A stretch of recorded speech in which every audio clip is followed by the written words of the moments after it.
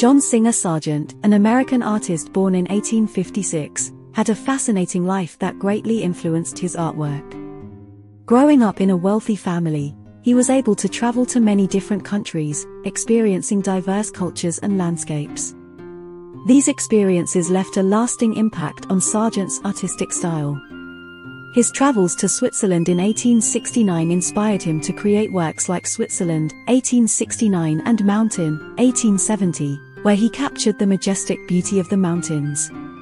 Sargent also drew inspiration from his time spent in exotic locations, such as Javanese dancers he encountered during his travels. This is evident in his painting Javanese dancers, which showcases the vibrant and energetic movements of the performers. But it wasn't just the places he visited that influenced Sargent's art. The people he encountered along the way also played a significant role.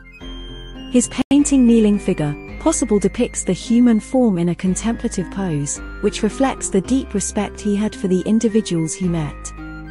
Additionally, Sargent's interest in maritime scenes is evident in works like Sailboat Deck with Figures and Moonlight on Waves, from Scrapbook. These paintings show his fascination with the calming and ever-changing nature of the sea.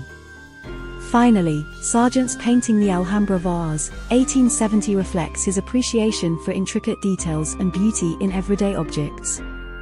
Through his diverse life experiences and encounters, John Singer Sargent was able to create a body of work that captured the essence of different landscapes, cultures, and people.